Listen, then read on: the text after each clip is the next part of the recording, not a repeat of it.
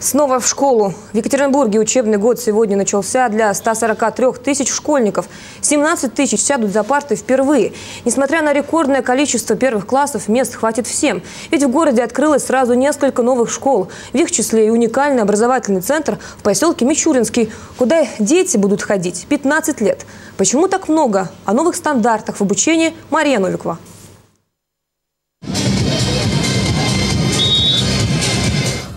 На учебу ребята сегодня решили забить, в буквальном смысле. Вместо того, чтобы сидеть за партами, гоняют мяч на новом поле. Оно, как, впрочем, и вся школа, долгожданный подарок жителям Мичуринского. Да еще какой! Это новый формат обучения. Образовательный центр, который объединяет под одной крышей садик, младшие и старшие классы. В составе образовательной школы есть дошкольное образовательное учреждение на 150 малышей. И практически некоторые ребята в течение 15 лет могут по этой дорожке ходить вот сюда, в эту школу, получая дошкольное и школьное образование. Тесно разновозрастной детворе здесь не будет. Площадь нового центра аж 200 квадратных метров. Ребята постарше и малыши будут находиться в отдельных блоках. Для дошколят здесь есть современные игровые комнаты, спальни и площадки. Играючи учиться будут и школьники. С помощью интерактивных полов они смогут подняться на Эверест или пройтись по Куликову полю. Следить за здоровьем учеников будут в стоматологическом и прививочном кабинетах. А дать выход энергии можно в четырех спортивных залах. Лампы и баскетбольный щит ударопрочные. Их же оборудовали уникальной системой климат-контроля. В принципе, мы можем установить любую температуру. Гимнастика – одна температура, баскетбол – другая температура.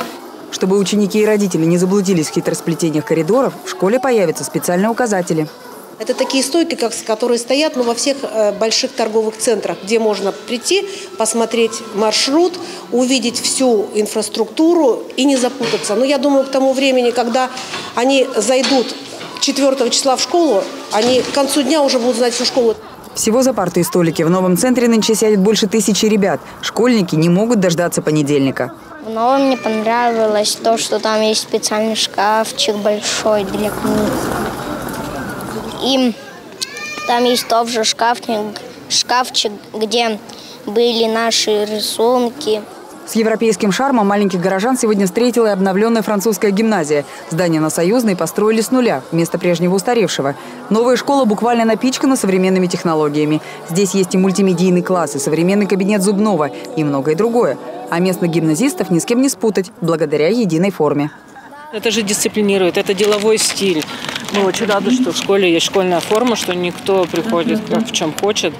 Это очень красиво. И за все года, которые Богдан учился в школе, это все равно дисциплинирует. Мы очень довольны, что есть школьная форма.